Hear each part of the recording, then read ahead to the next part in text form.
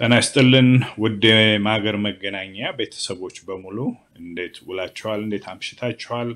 በመላው ዓለም ዙሪያ የምትከታተሉን እንደሚታወቀው በዚህ ሳምንታት ባለፉትም ጭምር በሚመጡትም እኔም ፋኖ ነኝ በሚል ርዕስ በዓለም ዙሪያ ያለውን ንቅናቄ ልዩ ሽፋን እየሰጠን እንገኛለን። ይህ ልዩ ዝግጅታችን እ፣ የአማራውን ንቅናቄ በዓለም ዙሪያ ያለውን ደረጃና ያለውን ይዞታ የሚያሳይ ሲሆን በእውነት በበዛ ሁኔታ እየተገጣጠለ ይገኛል። ይሄ እኔም ፋኖ ነኝ የሚለው ንቅናቄ እስካሁን ድረስ ሲደረጉ ከነበሩት የአማራ ንቅናቄዎች ጋር ተያይዞ የመጣ ነው።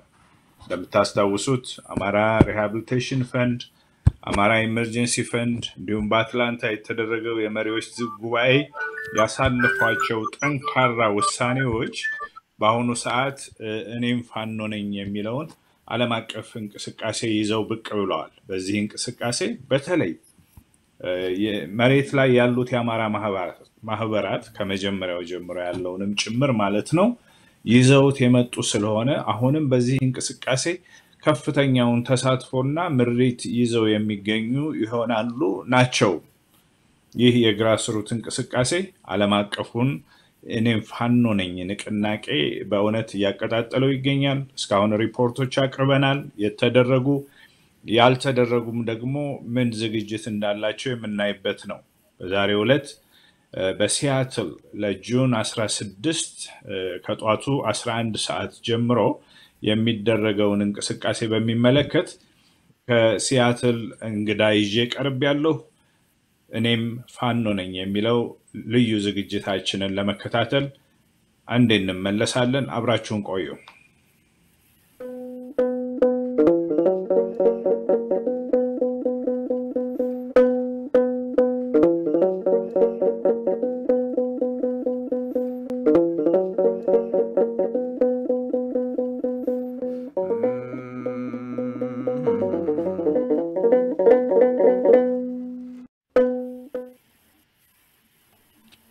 ጤና ይስጥልኝ አቶ ማሩ ወርቅነህ ከሲያትል እንኳንም የማገር እንግዳ ሆነው በዚህ በዝግጅታችን ለልዩ ዝግጅት ላይ ቀረቡልን።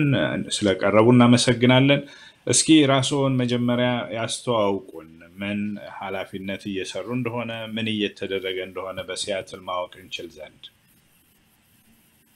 እሺ አመሰግናለሁ አቶ ጌታቸው እድሉ ስለሰጠኝ እንዲሁም ደግሞ ማገር ሚዲያን እና መላ ቤተሰቡን እንዲሁም ደግሞ አድማጭ ተመልካቾችን ከልብ እያመሰገንኩ እንግዲህ እ፣ ለምከፍሉት መስዋዕትነት ወይም ደግሞ ዋጋ የአማራ ሕዝብ እንዲሁም ደግሞ ኢትዮጵያ እንደ ኢትዮጵያ እንድቀጥል ለሚፈልግ ማንኛውም ኢትዮጵያዊ ለዚህ ትልቅ ክብር አለው ብዬ አምናለሁ። እ፣ እንግዲህ ከራሴ ማስታወቅ ስጀምር እኔ ማሩ ወርቅነህ እባላለሁ በሲያትል ዋሽንግተን የሲያትል አማራ ማህበር የህዝብ ግንኙነት ሆኜ ነው የማስተባብረው። በፊት እንደሚታወቀው የአማራ ትግል በየቦታው ተበትኖ ይገኛል። ያም ፋኖ አለ፣ የአማራ ፋውንዴሽን፣ ሲያትል አማራ ማህበር፣ ሞረሽ ወገኔ፣ የወልቃይት ኮሚቴ ብዙ ነገሮች አሉና አሁን ግን ወደ አንድ ወደ በመምጣት እ፣ ፋኖ እንትን በማለት ወደ ሲያትል አማራ ወደ አንድ ቋት ውስጥ በመግባት የአማራን ትግል ለማጠናከር ታቅዶና ታልሞበት የተጀመረ የአንድነት እንትን አለ።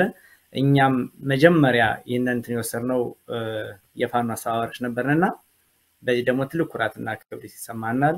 ሲያትል አንድነቷን ጀምራለች፣ አንድነቷን አስቀጥላ ደግሞ ትሄዳለች ማለት ነው። እንግዲህ እኔም ፋኖ ነኝ የሚለው ህዝባዊ ስብሰባ ሲያትል ትንሽ ዘግየት ብለናል፣ ግን ብዙ ስራዎች መሰራት ስለነበረባቸው ነው። ቀጣይ ሐሙስ ወይም ደግሞ June 16 11 ሰዓት ጀምሮ በማርቲን ሉተር ኪንግ መነሻችን በማድረግ ወደ Capitol Hill ወይም ደግሞ ወደ City of Seattle ማለትም councilor ኦች እና ሴኔተሮች ወዳሉበት እናመራለን። ያም ደግሞ በአማራ ህዝብ ላይ የሚደረገውን ሰቆቃ እና ግፍ እንዲሁም ደግሞ የዘር ማጽዳት ለመላው ዓለም ለማስታወቅ ታስቦና ታልሞበት የሚደረግ ህዝባዊ ስብሰባ ነው። የዚህ ህዝባዊ ስብሰባ አስተባባሪ ደግሞ የሲያትል አማራ ማህበር በበላይነት ሆኖ እየመራው ይገኛል። የተለያዩ ኮሚቴዎችን የህዝብ ግንኙነት፣ ፋይናንስ እና ሎጂስቲክስ መዋቅር በመስራት ሰፊ ዝግጅት እየተደረገ ይገኛል። ምናልባት በኋላ ላይ የተጀመሩ እንቅስቃሴዎችን በዝርዝር እመጣበታለሁ። ራሴን ለማስታወቂያ ያክልና እንደ መግቢያ ይህን ካልኩ ይበቃኛል። እመለሳለሁ። አመሰግናለሁ። አመሰግናለሁ አቶ ማሩ ወርቅነህ በደንብ ገልጸውልናል። የሚያበረታታ ነው። የተለያዩ አደረጃጀቶች እንኳ ተሰብስበው ወደ አንድ ቋት የመምጣቱ እርምጃ ትልቅ እርምጃ ነው። ይሄ ነው ለሁሉም ደስ የሚያሰኝ ይመስለኛል። ሲያትል እንደሚታወቀው ብዙ እንቅስቃሴ የነበረበት ነው ቀደም ብሎም። በአሁኑ ሰዓት ግን እንዳው ሲያትል የአማራው እንቅስቃሴ ትንሽ ተቀዛቅዞ ነበር የሚሉ አሉ እና እንዳው ያንን በሚመለከት ምን ይሉናል? እውነት ነው። ምንድን ነው አሁን እንደሚታወቀው በፊት ሲያትል በጣም ጠንካራ ማህበረሰብ ያለበት ወይም ደግሞ በተለይ የአማራ ተወላጆች በሰፊው በኢትዮጵያ ትግል ዙሪያ ትልቅ እንትን ያላቸው እንትኖች ናቸው እና በዚህም ደግሞ አሁን ላይ ትንሽ የተፈጠረ ነገር ነበር ማለት ለተፈናቀሉ ወገኖቻችን ገቢ በምናሰባስብበት ሰዓት ያው አማርኛ ስለሚችሉ ቋንቋውን ስለሚችሉ ዘው ብለው ይገቡና እኛን ለመበተን አቅደውና አልመው የሚመጡ ጥላቶች ነበሩ። የጀመሩት የመፈረካከስ እንትን አለ። እሱን ግን በጥበብና ትዕግስት በተሞላበት መንገድ ነገሮችን እያስተካከልን አሁን ወደ አንድነት እየመጣን ያለንበት እና ችግሮችን ደግሞ በቅርብ indoor meeting እናደርጋለን ከዚህ ከ outdoor ኡ ወይም ደግሞ ከህዝባዊ ስብሰባ ባሻገር ማለት ነው።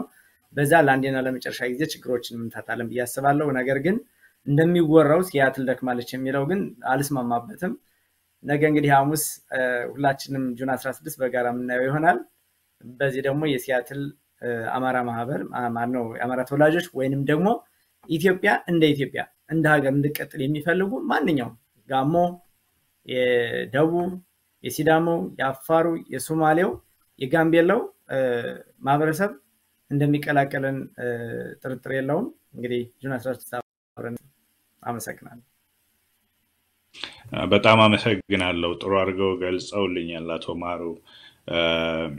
ፈረካካሹን አስወጥቶ እና አጥርቶ ትክክለኛ የሆነ እርምጃ መውሰዱ ትልቅ ነገር ነው። በእርግጥ ትንሽ ዘግይተናል ያሉትን መዘግየት አልለውም እኔ ምክንያቱም ለስድስት ሳምንት ነው ይሄ እንቅስቃሴ የሚካሄደው።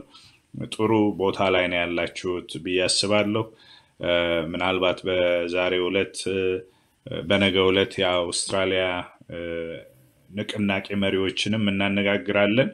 በዓለም ዙሪያ እየተካሄደ ያለው በእስራኤል፣ በጀርመን እንግዲህ አሁን በእንግሊዝም እየጠበቅን ነው። በአሜሪካን ሀገር የተለያዩ ስቴቶች ይሄ እንቅስቃሴ እኔም ፋኖ ነኝ በሚል በጣም እየተቀጣጠለ ነው ያለው እና እዚህ ጋር አንድ ጥያቄ የማቀርበው አብሬ እኔም ፋኖ ነኝ ስንል ምናልባት ይሄ የልምድ አባባል ይሆን ወይስ በትክክል ምን ማለት ነው? እኔም ፋኖ ነኝ ብለን መነሳትና መውጣት ማለት በውስጡ ትልቅ መልእክት ይኖረዋል ብዬ አስባለሁ። እንደው ምን ማለት ነው? ያንን ቢገልጹልኝ።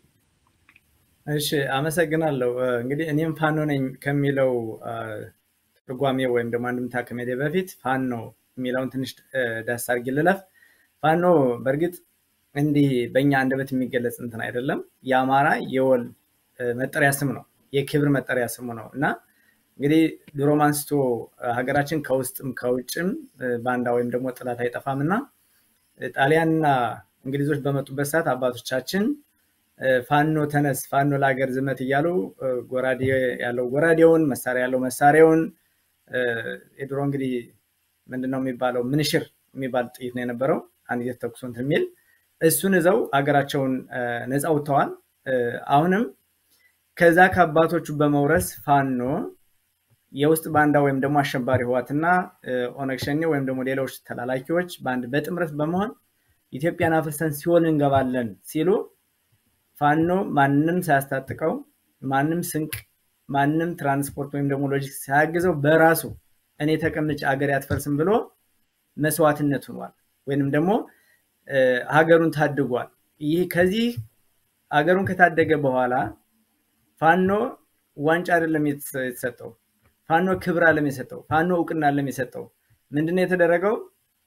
ህግ በማስከበር ስበብ በሚል ዳቦ ስም በመስጠት ፋኖን በየቦታው እያሳደሩ ቅድም እንደተናገርኩት አማራ ፋኖ ነው፣ ፋኖ ደግሞ አማራ ነው። ሁለቱ የተለያዩ እንትኖች አይደሉም፣ አብረው የሚሄዱ ናቸው። ስለዚህ ፋኖን በመምታት የአማራን በኢኮኖሚ በፖለቲካ በማንኛውም እንትን ተገዳዳሪ ኃይል ሆኖ እንዳይወጣ አንገቱን በማስደፋት የኦሮሞማን አፓርታይድ ለመመስረት የሚያደርጉትን ጉዞ ቀና ለማድረግ የግድ ፋኖ መምታት አለባቸው። ፋኖ ደግሞ እንደሚታወቀው በሰላም ጊዜ አራሽ ቀዳሽ፣ አገራችን በባንዳ በተወረች ጊዜ ደግሞ ተኳሽ ነው። ስለዚህ የፋኖ ሌላ እንትን የለውም። እየታየውም ዓለም ያየውም ይህንን ነው።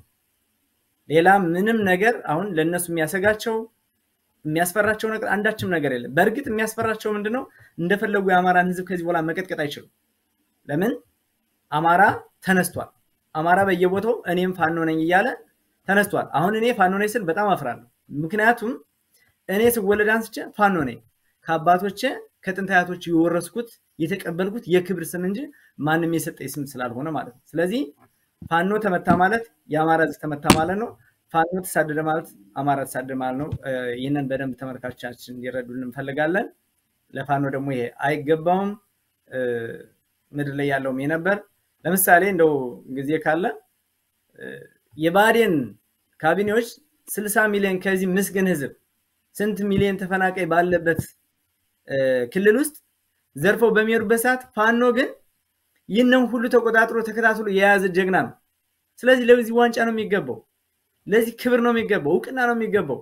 እነሱ ግን በድሮን እያሳደዱት ነው ያለ። ይሄ ደግሞ ህግ ማስከበር አይደለም። ህግ ማስከበር ከተባለ ህግ የሚከበረው አማራ ክልል ውስጥ ነው ወይ?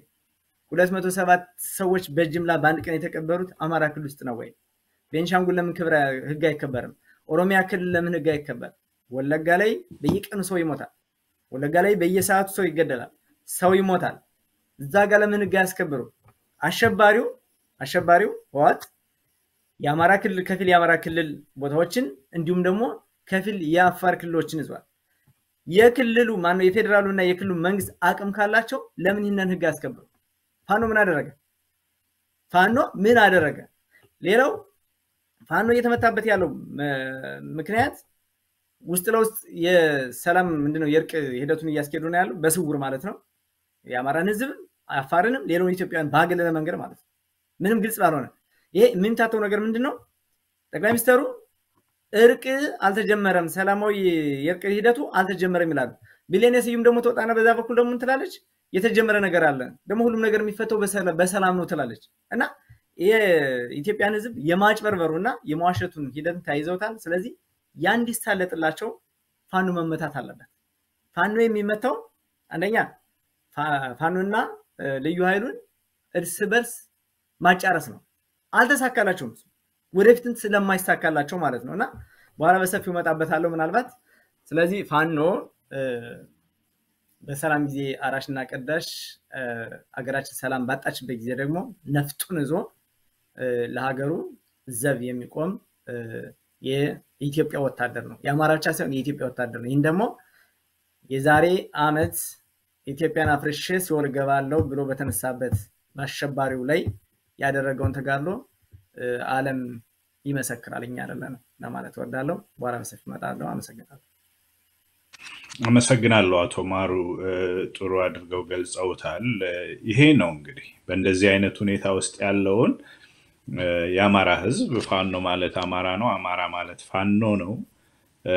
እኔም የሚደርስበትን ጉዳት እካፈላለሁ፣ እጋራለሁ፣ እኔም ፋኖ ነኝ ብሎ በዓለም ዙሪያ የሚወጣው ሕዝባችን የዚህ የፋኖ በግንባር ያለው ስደቱ የሚደርስበት የፋኖ ኃይል ድምፅ ሆኖ መውጣት ነው። እነዚህ እንግዲህ በተለያዩ መንገዶች ይገለጻሉ። አንዱ አሁን እንደዚህ ህዝባዊ ሰላማዊ ሰልፍ አድርጎ ድምፅን ማሰማት ነው። ለዓለም መንግስታት፣ ለዓለም ልዩ ልዩ ተቋማት ሁሉ ይሄን ማሳሰብ ነው እና እንደነዚህ አይነት ነገሮች ሌሎች የሚደረጉበትንም አቅጣጫ ጨምረው ቢገልጹልኝ። ከዚሁ ጋር ተያይዞ ደግሞ በአካባቢው አሁን ምን እየተደረገ ነው? ህዝባዊ ሰላማዊ ሰልፍ ወጥቶ መግባት ነው ወይስ በዛ ውስጥ የሚደረጉ ልዩ ልዩ ነገሮች አሉ? እሺ፣ በድጋሚ አመሰግናለሁ። ቅድም እንደተባለው እኔም ፋኖ ነኝ ስንል ለሀገር ውለታ ለዋለ ፋኖ መሳደድና ሞት ግድያ አይገባውም እና ፋኖን ገደላችሁ ማለት እኔን ገደላችሁ ማለት ነው። ፋኖን ነካችሁ ማለት እኔን ነካችሁ ማለት ነው። ስለዚህ እኔንም አትንኩ፣ እኔ ፋኖ ሲከፋው እኔንም ይከፋኛል ነው። እኔም ፋኖ ነኝ የሚለው በሱ እንትን ይባልኝ። አንተ ማብራርተልኛል፣ አመሰግናለሁ። እንግዲህ ምንድን ነው በዚህ በሲያትል ላይ እኛ ብዙ እቅዶች አሉን። እቅዳችን ምንድን ነው? ወጥቶ ዝም ብሎ ጮህ መግባት ብቻ አይደለም። የሚገቡ ደብዳቤዎች አሉ።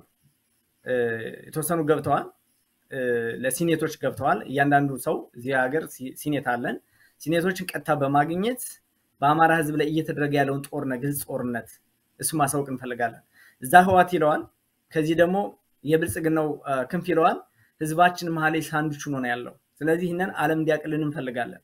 ዝም ወጥቶ በህዝባዊ ስብሰባ ጩሆ መግባት ብቻ ሳይሆን በቪዲዮ የተደገፈ በፒክቸር የተደገፈ እስከ መረጃው ቁጥሩን ጨምሮ ማለት ነው ለእንትኑ ይገባል። ስለዚህ እሱን እንቀጥልበታለን። የሚቆም ነገር አይደለም። በትዊተር፣ በፌስቡክ፣ በተለያዩ ሚዲያዎች እያንዳንዱ ለምሳሌ ፋኖ ሳይበር እንትን አለ class አለ። እሱ ስራውን እየሰራ ነው። የትዊተር class አለ በሲያትል ማለት ነው እና ብዙ ነገሮች እየተሰሩ ነው። ሌላው ደግሞ ፋና ፋና ከላይ ሆኖ ይህንን ህዝባዊ ስብሰባ እናንተም እንደምታውቁት መላው አሜሪካ ላይ ያለውን የሚያስተባብረው ፋና ነው። ፋና ደግሞ ከኛ በላይ ደግሞ ብዙ ነገሮችን ስራ እየሰራበት ነው። ምናልባት በሚዲያም ላይ የማናወራቸው ማናገራቸው ብዙ ስራዎች እየተሰሩ ነው። ወጥቶ ዝም ብሎ አትግደሉን ፋኖ እኔ ፋኖ ብሎ መግባቱ ብቻ አይደለም። ለዚህም ደግሞ ቀኑን ሐሙስ የመረጥንበትም እራሱ ሲኔቶችን ለማግኘት ነው፣ ወይም ደግሞ የቢሮ ሰዎችን ለማግኘት ነው ያቀር ነው። እንግዲህ በፊት የምናደርጋቸው ቅዳሜና እሁድ ነው ህዝባዊ ስብሰባ። ያ ደግሞ ወጥቶ ዝም ለሸዋፕ ነው። ሌላ ምንም የሚሰማን ነገር የለም። አሁን ግን ሐሙስ ያደረግንበት 11 ሰዓት እስከ ሶስት ሰዓት ይቆያል ብዬ አስባለሁ። እሱ እንደ አስፈላጊነቱ ሊራዘም ይችላል። መነሻችን ከማርቲን ሉተር ኪንግ በማድረግ ወደ ቢሮዎች ነው የምንሄደው። ወደ ቢሮ ሄደን ደግሞ እነሱን ፊት ለፊት የሚሞተው አማራ፣ የሚያለቅሰው ህዋት፣ የሚሞተው ገዳዩ ማን ነው? ህዋት። የሚያለቅሰው ህዋት። ስንዴ የሚላከው ለማን? ለህዋት። ገዳዩ ማን? ህዋት። ስንዴ የሚሄደው በአማራ ክልልና በአፋር ክልል ላይ አድርጎ ነው። ለአማራና ለአፋር ተች ስንዴ አይሰጥም። ስለዚህ ለዚህ ሁሉ ወይ ስለመሆን ነው እና ሀገራችንም በዛውም ደግሞ አሜሪካ ለአሸባሪው የምታደርገውን ድጋፍ ሁሉ እንዲሁ ይህንን ሁሉ ያዘለ መለ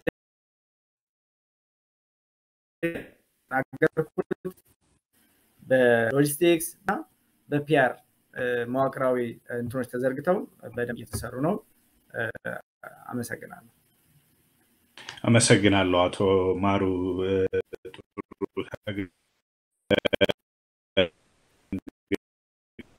ሰልፍ ወጥቶ ቤቱ የሚገባ አይደለም። አሁን እንደተገለጸው ማለት ነው። በእርስዎም እስከ መጨረሻው ድረስ የሚዋደቅ ነው ፋኖ ነው ያለመለትን ያሰበውን ድል እስከሚቀዳጅ ድረስ አያቆምም።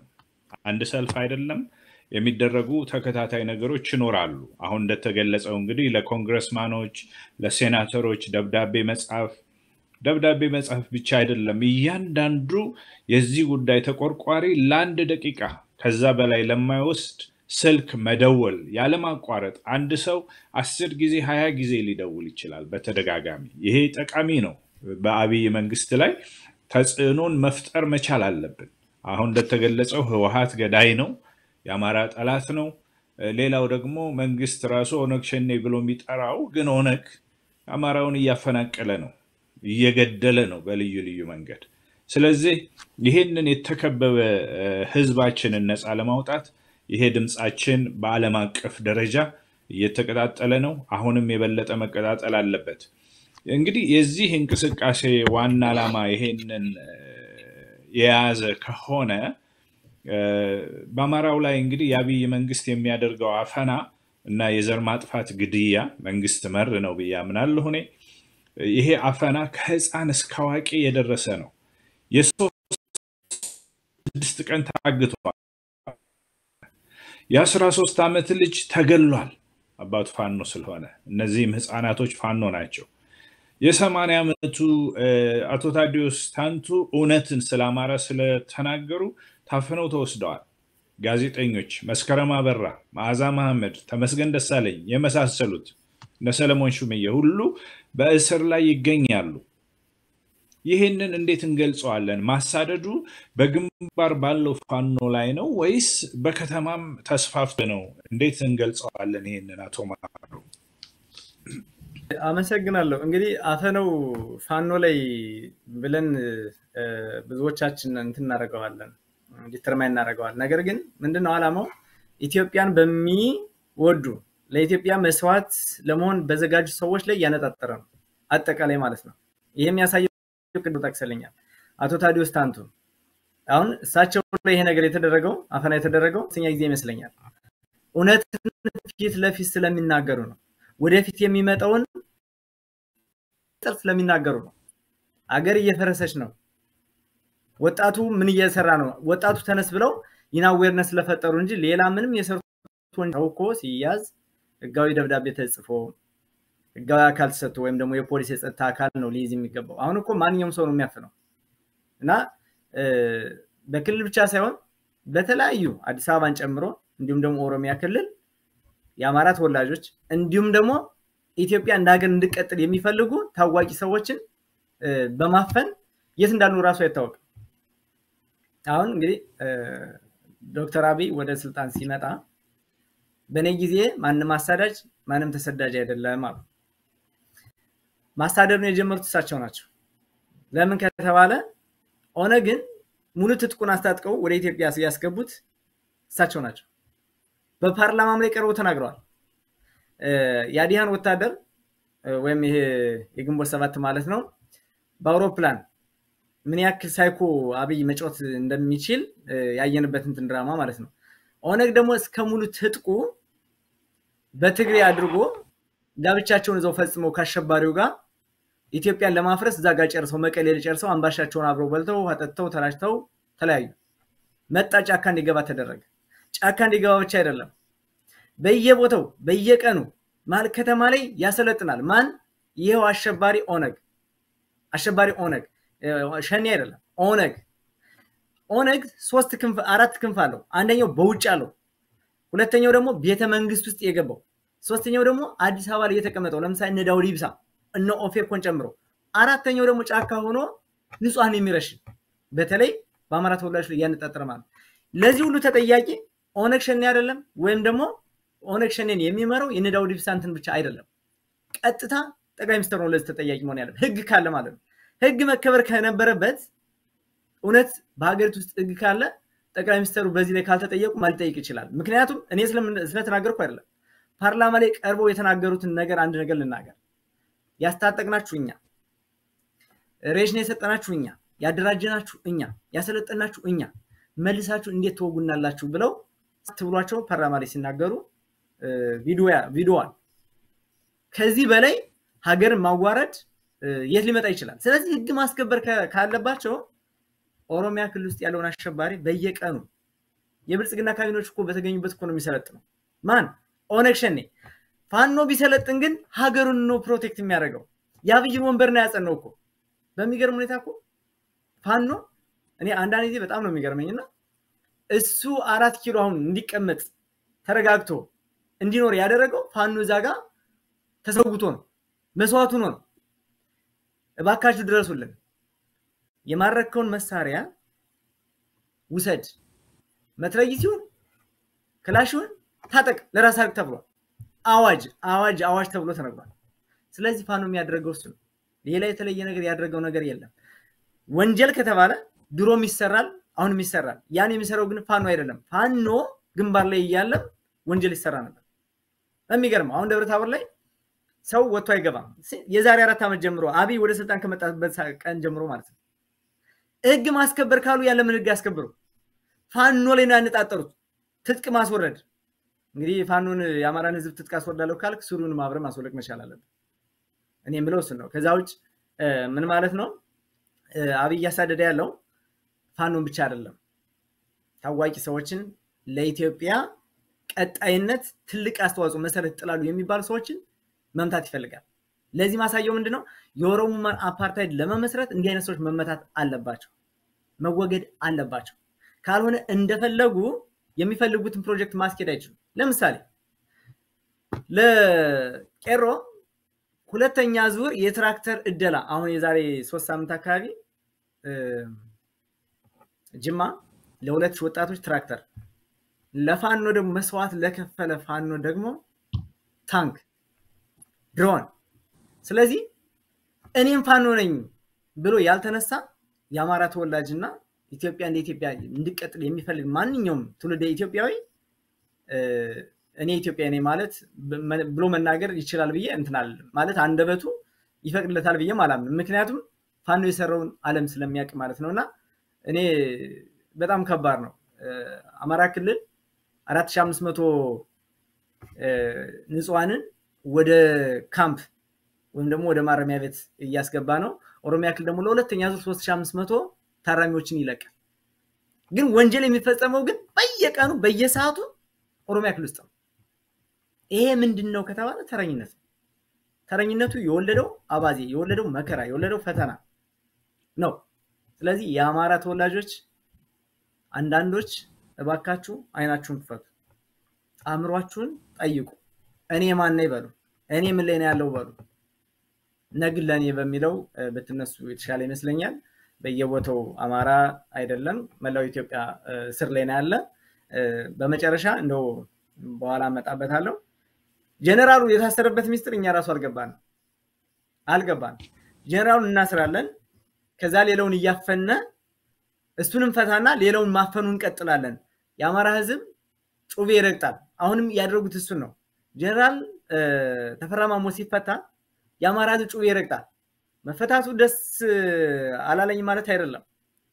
ስልሳ ሚሊዮኑ የአማራ ሕዝብ ታስሮ እስር ቤት ውስጥ ወርቆ አንድ ጀነራል ተፈታ ብሎ ጩቤ ይረግጣል። የአማራ ህዝብ ስልሳ ሚሊዮን መሽ ገና ተፈታ። የኢትዮጵያ ህዝብ ገና መሽ ከስር ተፈታ። የፓርላማው ጥያቄ አቶ ጌታቸው ተከታትለው ከሆነ በጣም ያሳፍራል። የጠየቀው ጥያቄ ሌላ፣ የሚመለሰው ሌላ። ወሰን አስመልሳለሁ፣ የወሰንን በሰላማዊ መንገድ እፈታለሁ ብለዋል ነበር ብሎ የጠየቀው ጥያቄ የመለሰው ወላይታ ለምሳሌ የክልል ጥያቄ ጠይቆ እየተፈቀደለት ነው። በቃ በጣም አንድ ህፃን የማይመልሰውን መልስ እየሰጡ በቃ ፓርላማውን ምንድን ነው እንደ ህፃን በቃ ሲጫወቱበት ነው የዋሉ እና አየው ነበር ሙሉን በቃ ምን እንትን ይፈጠር። ምክንያቱም የሀገሬ ጉዳይ ይመለከተኛል እና የሚያሳዝን ነገር ነው ያለው። ለማንኛውም ፋኖ ብቻ አይደለም የሳዳ ያለው የሚለውን እንዲሰማል ይፈልጋለሁ። ለዚህ ደግሞ እኔም ፋኖ ነኝ ብለን ከፋኖ ጋር እንቁም። ሲያትል አታሳፍሩንም። የሲያትል አማራ ተወላጆች እንዲሁም ደግሞ መላው የኢትዮጵያ ወዳጆች ከኛ ጋር እንድቆሙ ሐሙስ 11 ሰዓት እንገናኛለን ብዬ አምናለሁ። አመሰግናለሁ። ስለዘሙት መሰለኝ። በጣም አመሰግናለሁ። ጥሩ አገላለጽ ነው። እንግዲህ አማራ የሆንክ ሁሉ ቆም ብለህ አስብ፣ አእምሮን ጠይቅ የሚለው ትልቅ ጥያቄ ነው። ለዛም ይመስለኛል እንግዲህ አንዳንዱ ቆም ብሎ ያሰበው የተረዳው እኔም ፋኖ ነኝ ብሎ ተነስቷል። ይሄ ንቅናቄ ራስን የማወቅ ራስን identify የማድረግ ጉዳይ ነው። እኔ ፋኖ ነኝ ወይም አም ፋኖ ብሎ አሁን እየተነቃነቀ ያለው ግብረ ኃይል ራስን የመከላከል ጉዳይ ነው። ይሄ ተፈጥሯዊ መብት ነው። ሄጄ እንትናን ልውረር እንትናን ላጥቃ ያለው ነገር የለም። የአማራ እህቶችና ሴቶች በብዛት ተደፍረዋል በትህነግ ወታደር። በኦሮሞ ሸኔ ወይም ደግሞ ኦነግ ሸኔ በሚባለው ክፍልም ነፍሰ ጡሮች ተገድለዋል። አዛውንቶች ተጨፍጭፈዋል። ልጆች ተጨፍጭፈዋል። አሁንም እየተደረገ ያለ ነው። በመተከል አካባቢ ይሄው ግድያ አሁንም ቀጥሏል። መቼም አልቆመም። ለዚህ ጉዳይ በዓለም ዙሪያ የሚገኝ የአማራው ማህበረሰብ እኔም ፋኖ ነኝ ብሎ ለመነሳት መወሰኑ የሚገርም አይደለም። እንዳውም ትንሽ ነው። ከዚህ በበለጠ መውጣት አለበት ብዬ አምናለሁ። ይሄንን ጉዳይ እንዳው በዚህ መንገድ ስለቀረበ በጣም አመሰግናለሁ። የመጨረሻ ጥያቄ እንግዲህ ፋኖ ምንድን ነው? አሁን ሲገለጽ ነበር በአቶ ማሩ ለፍትህ የሚታገል ነው። ለአገሩ ዘብ የሚቆም ነው። ሁሉንም ለመጠበቅ የሚዋደቅ ነው። ብዙዎች ህይወታቸውን ሰጥተዋል።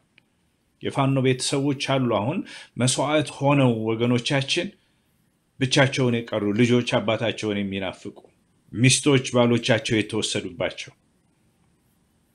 አሰቃቂ በሆነ ሁኔታ ቅድም እንዳልኩት መደፈር የደረሰባቸው ይሄ ሁሉ መከራ ደርሶበታል። ዓለም አቀፉ የአማራ ማህበረሰብ ይህንን ንቅናቄ ከዚህም በበለጠ ማቀጣጠል አለበት። ወደ መጨረሻው ልምጣና እንዳው ቅድም አንስተነዋል፣ ጨረፍ አድርገነው አልፈናል። ጋዜጠኝነት እንግዲህ ሙያውም ስራውም ህዝብን መረጃ እንዲያገኝ ማድረግ ነው። ትክክለኛ መረጃ በማስረጃ የተደገፈ መረጃ ለህዝብ ማቅረብ ነው አንዱ ስራው። መንግስትን ወይም መሪዎችን ደግሞ ተጠያቂ ማድረግ ነው ለጉድለታቸው። በውሸት ሳይሆን በእውነት ለተጠያቂነት ሊቀርቡ የሚችሉበትን መንገድ ማሳያ ነው። ሌላው ህዝብን መንግስት ማድረግ ነው። መንግስት እዛ ቁጭ ብለው እንደፈለጉ የአንድ ሀገርን ህዝብ የሚያሽከረክሩ ሳይሆኑ እውነተኛ መንግስት ህዝብ ነው። የህዝብን ድምፅ የሚሰማ መሆን አለበት። አሁን አቶ ማሩ እንዳነሳኸው ፓርላማ ውስጥ የሚደረገው ድራማ የፖለቲካ ድራማ ጥሩ ተዋናይ ናቸው። ሰውየው ጥሩ ተውኔት ይችላሉ። ብዙ ጊዜ ተውኔትም እንኳ በእውነት የተመሰረተ ነው። የእሳቸው ተውኔት ግን ለየት ያለ ነው። ምሁራኑ እና ርዕስ ቢሰጡት ጥሩ ነው። በዚህ ጉዳይ ላይ ማለት ነው። የስነ ጥበብ የኪነ ጥበብ ምሁራን ይሄ ነገር እየተደረገ እነዚህን ሁሉ እያሳደዱ አንዲት አራስ ከሰባት ወር ልጇ ተነጥላ መስከረም አበራ በእስር ቤት ነው ያለችው። ዛሬ ትፈታለች የሚል ሰምተናል። ነገር ግን ይፈታሉ የተባሉት በዋስ እነ መዓዛ መሐመድ እነ ሰሎሞን ሹምዬ ተመስገን ደሳለኝ ተመልሰው ቁጭ ብለዋል። ወታ ብናያት ሁሉም ወጥተው ብናይ ደስ ይለናል። ይሄንን ነገር ለዓለም አቀፉ ማህበረሰብ በምን መንገድ ነው ልናሳውቅ የሚገባው? ይሄንንም እኩል ማንሳት የለብንም ወይ? እና ከዚሁ ጋር በተያያዘ ለኢትዮጵያ ሕዝብ የመጨረሻ ማጠቃለያ መልእክት የሚሰጡት ካለ አብረው ቢያጠናቅቁልኝ። እሺ፣ በድጋሚ አመሰግናለሁ። እንግዲህ ቅድም እንደተናገርኩት አማራ ፋኖ ነው፣ ፋኖ አማራ ነው ማለት መስከረም አበራም ፋኖ ነች፣ ተመስገን ደሳለኝ ፋኖ ነው፣ አቶ ታዲዮስ ታንቱም ፋኖ ናቸው። አማራ ስለሆኑ ብቻ ያለው አባቶቻቸውም አብረው ዘምተዋል፣ ተዋድቀዋል እዚች ሀገር። ስለዚህ ፋኖ ቅድም እንደተባለው የሀገር ዘብ ነው። የሀገር ዘብ፣ የሀገር መከታ፣ የሀገር አለኝታ ነው። ስለዚህ እኛ የምንጮኸው ለፋኖ ነው ስንል ለጋዜጠኞችም ጭምር ነው። ጋዜጠኞች ፎቶ በቲሸርትና በተለያየ በእንትን ብሎ አብሮ ይወጣል። እኛ ለዚህ ህዝብ ድምፅ ለሆኑ አሁን ቅድም እንደተባለው እነሱ መንግስት ይሳሳት ተሳስተሃል፣ ጥሩ ሰራ ደግሞ ጥሩ ሰርተሃል። ትክክለኛ መረጃን ለህዝብ ማድረስ ነው የጋዜጠኛነት ሙያ ይሄ ነው። ስለዚህ እነሱ ግን ከሙያቸው የወጡት አንዳችም ነገር የለም። እኔ እንግዲህ እከታተላቸዋለሁ እነዚህም ሁሉንም ማለት ነው። የሚናገሩት አካሄዱ መንግስት አደገኛ ነው፣ የአማራ ህዝብ አሁን የሚያስፈልገው እርዳታ ነው፣ ድጋፍ ነው፣ በጦርነት ነው የቆየው የሚል አስተያየት ትችት ትተቻለች። ለምሳሌ መምህርት መስከረም አበራ ማለት ነው። ስለዚህ ቀድሞ እነሱን ጋማ በማለት ለህዝቡ ምንም አይነት መረጃ እንዳይደርሰው በማድረግ ህግ ማስከበር በሚል የአማራን ህዝብ አንገት ማስደፋት የሰላማዊ እርቅ የተባለው ከአሸባሪ ጋር እንግዲህ ሲጀመር እኔ ከተወለድኩ ጀምሮ ማንም መንግስት ከአሸባሪ ጋር ሲታረቅ ይሄ መጀመሪያ ጊዜ ይሆናል ማለት ነው። ከአሸባሪ ጋር ማለት ነው። ለዛውም ኢትዮጵያን አፍርሼ ሲኦል እገባለሁ ካለ ይህ ማለት ሲኦል እገባለሁ ኢትዮጵያን አፍርሼ ካለ መንግስት ማነው አሸባሪ ጋር ተደራደርክ ማለት ኢትዮጵያን ለማፍረስ ተስማምተሃል ማለት ነው። ምክንያቱም ህዋት የቀየረው ነገር አለ ወይ? ምኑን ቀይሮ ነው ከህዋት ከዚህ አሸባሪ ጋር ለድርድር የሚቀርበው? ስለዚህ ይህ ሁሉ የእርቅ ድርድሩ ስምምነቱ smoothly በሚፈልገው ነገር አይ በሚፈልገው መንገድ እንዲሄድ እነዚህ ጋዜጠኞች ሁሉ መታሰር አለባቸው። መረጃ እንዳያወጡ ለህዝብ እንዳይደርስ እና በጣም multi purpose አለው። እሱ አሁን ጋዜጠኞች የሚያሰርበት ሚስጥር የአማራን ህዝብ መጨፍጨፍ ብቻ አይደለም። ሰላማዊ ሰልፉን ምንድነው የሰላም እርቁን በጎን ያስኬዳል። እሱ በሚፈልገው መንገድ አማራ ምን እንደሚፈጥር አያውቅም። ተወካይም የለው። አፋርን በተመሳይ መልኩ በዚህ እንትን ላይ ግን የመጀመሪያው የእንትኑ ሰለባ የሆኑት ከመከላከያ ሰራዊት ቀጥሎ የአፋርና የአማራ ማህበረሰብ ነው። እነሱ ግን ተወካይ እንኳን ያላቸው አይመስለኝም። ማን እንደተወከለ እንኳን እውቅና የለም። ስለዚህ ምንድነው እኔ ማለት የምፈልገው ድምፅ እንሆናለን ለነ ታዲዮስ እናቶ ታዲዮስ ታንቱ ለነ መስከረም አበራ ለጋዜጠኞች በሙሉ ድምፅ እንሆናለን። ዛሬ ብቻ አይደለም ወይም ማነው በአስራ ስድስቱ ሰላማዊ ሰልፍ ብቻ ሳይሆን ይሄ ይቀጥላል። ይሄ ደግሞ የሚቀጥለው ምንድን ነው? ጋዜጠኞች ሰብአዊ መብታቸው የተረገጠ ነው። የት እንዳሉ እንኳን አይታወቅም። በጨለማ ውስጥ ተወርውረዋል። ቤተሰብ እንኳን በአግባቡ አይጠይቃቸውም። የተወሰነላቸውን የፍትህ እንትን ተነፍገዋል። በእርግጥ ፍትህ ከብልጽግና አልጠብቅም። እኔ አራት ዓመት ሆኖኛል እኔ ተስፋ ከቆረጥኩ። ኢንጂነር ስመኘው በጠራራ ፀሐይ ከተገደለ እነ ዶክተር አምባቸው ያንሳ ነው ሰው አይኑ መክፈት የነበረበት ኢትዮጵያን የሚወዱ ሰዎች ለምሳሌ ጀነራሉ ጀነራል ሳረ መኮንን የተገደለበት ሚስጥሩ ምንም ኢትዮጵያን ማፈራረስ ነው። አንቀጽ ሰላሳ ለምን አልተቀየረም? የኦሮሞን አፓርታይድ ለመመስረት ታመቻለች። እሷ ከፈረሰች የኢትዮጵያ አንድነት ይመጣል እና አብይ ማለት ቤተመንግስት ቁጭ ብሎ የኦነግን ስራ ወይም ደግሞ የኦነግን ፍላጎት የሚያስፈጽም ዋና የስራ አስፈጻሚ ሰብሳቢ ነው ብል ስህተት አይሆንም። ለዚህ ማሳየው ምንድን ነው? አዲስ አበባ ላይ የሚደረገው ነገር አሁን የሚሰሩ ስራዎች የሚኒልክን ቤተመንግስት በማፍረስ 49 ቢሊየን ብር በማውጣት የሚገነባው ቤተመንግስት ዛሬ የኢትዮጵያ ቤተመንግስት ነው የሚያስፈልጋት ወይስ ደግሞ ሰላም ነው የሚያስፈልጋት? የኢትዮጵያ ማህበረሰብ ዳቦ ነው የሚያስፈልገው ወይስ ደግሞ ዘመናዊ ቤተመንግስት ነው? ፍትህ ሳይኖር ቤተመንግስት ምን ያደርጋል? እኔ የህግ የበላይነት ሲባል እንደዚህ ይገርመኛል። በእርግጥ ጠቅላይ ሚኒስትሩ አማካሪ አለ፣ ዝም ብሎ ሲምቦል ወንበር ላይ የተቀመጠ አማካሪም ያለውም አይመስለኝም። በእርግጥ አሸባሪ አማካሪ ይኖራል አላስብም። እውነት ለመናገር በጣም ከባድ ለመግለጽ። በመጨረሻ የማስተላልፈው መልእክት ለመላ ኢትዮጵያ ህዝብና እንዲሁም ደግሞ ለአማራ ተወላጆች በዚህ ህዝባዊ ስብሰባ ላይ ተገኝታችሁ ታሪካችሁን እንድጽፉ እነኚህ የሰባት ቸግሯት ከፍቷት ብሷት አይደለም የገባችሁ የህዝቧ ሰቆቃ የህዝቧ መከራ የሀገሪቱ ቀጣይ እጣ ፈንታ ስላስጨነቃት ብቻና ብቻ ነው። እሷ የተለየ ጥቅም ፈልጋ አይደለም፣ ወይንም ደግሞ እሷ ህዝብን በማሸበር የምትፈጥረው ነገር አይኖርም። መንግስትን የሚሰራውን ስህተት ወይም ደግሞ የሚያደርገውን በህዝብ ላይ የሚያደርገውን ጫና ስለተቃወመች ብቻ ታሰረች መሆኑ አውቃችሁ ወጥታችሁ ድምፅ እንድትሆኑ ከኛ ጋር እንድትቆሙ ኢትዮጵያ ኢትዮጵያውን እንድቀጥል ከተፈለገ አንድ ላይ ቁመን እውነትን እውነት ውሸትን ውሸት እያልን አብረን እንሄድ። የድብብቆች ጨዋታው ይቅርብን። እንደው ይቅርታ አድርግልኝና የኢዜማ ደጋፊዎች አንዳንዶቹ እየደወሉ ያናግሩኛል። በፊት ምንድን ነው የለም በአማራ ላይ ይሉ ነበር፣ የዛሬ ሶስት ዓመት ሁለት ዓመት አካባቢ። አሁን ደግሞ ይቅርታ ምናምን እያሉ ጥሩ ነው ማለት ከዘገየም ቢሆን መልካም ነው። ሌሎቻችሁስ መቼ ነው የምትመጡ? ምንስ ነው የምጠብቁት? አሁን አማራ ክልል ላይ ቅድም እንደተናገርኩት ጋይንት ላይ ማረሚያ ቤቱ ተፈቶ ነበር። የሆነ ሳለ እዛ ነበርኩ ለረፍት ማለት ነው። ያንን ለማጣጣት በሚመስል መልኩ ፋኖዎችን ለዚች ሀገር መስዋዕት የከፈሉ ፋኖች እየወሰዱ እያጎሯቸው ነው። ስለዚህ ለእነሱ ድምፅ ካልሆን፣ ለዘመነ ድምፅ ካልሆን፣ ለሻለቃ መሳፍን ድምፅ ካልሆን እኔ አማራነቴ ኢትዮጵያነቴ ምን ያደርግልኛል? በዛ ላይ ደግሞ በአማራና በአፋር ደም ብቻ የምትገነባ ኢትዮጵያ እንድትኖር አንፈቅድም። ይህ የአማራ ተወላጆች እባካችሁ እባካችሁ እባካችሁ አብረን ንቁም። እኔም ፋኖ ነኝ የሚለውን ህዝባዊ አመፅ ተቀላቀሉን። በእርግጠኝነት እናሸንፋለን። ምክንያቱም እውነተኛ ጋር ስለሆነች እውነት ሁሌም ስለሚያሸንፍ እናሸንፋለን ማለት ፈልጋለሁ። ሁሌም እውነት ያሸንፋል። እንግዲህ በድጋሚ ድል ስለስጠኝ አመሰግናለሁ። ክብር ይስጥልኝ ማገር እና እንዲሁም ደግሞ የማገር ሚዲያ ቤተሰቦች ከልብ አመሰግናለሁ። ሐሙስ 16 ወይም ደግሞ ጁን 16 11 ሰዓት ላይ በማርቲን ሉተር ኪንግ ወይም ደግሞ በማርቲን ሉተር ኪንግ Memorial Park ላይ እንገናኛለን። ለህዝባችን ድምፅ እንሆናለን። እኔም ፋኖ ነኝ ማለት እፈልጋለሁ። እግዚአብሔር ያክብልኝ። አቶ ጌታቸው በጣም አመሰግናለሁ አቶ ማሩ።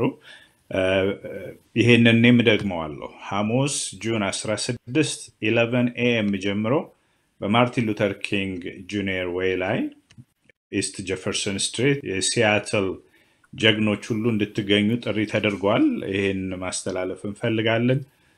አሁን አቶ ማሩ እንዳነሱት ጋዜጠኞች በየቦታው ታስረዋል።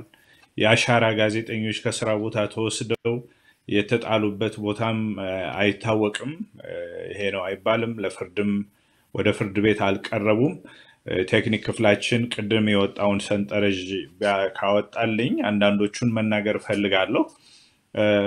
በአጠቃላይ ግን ፋኖነት የኛ ነው። እኔም ፋኖ ነኝ። ነፍጠኝነት የኛ ነው። ምንም ጉድለት የለበትም። አማራ ነፍጠኛ ነው። ለፍትህ ነው የቆመው።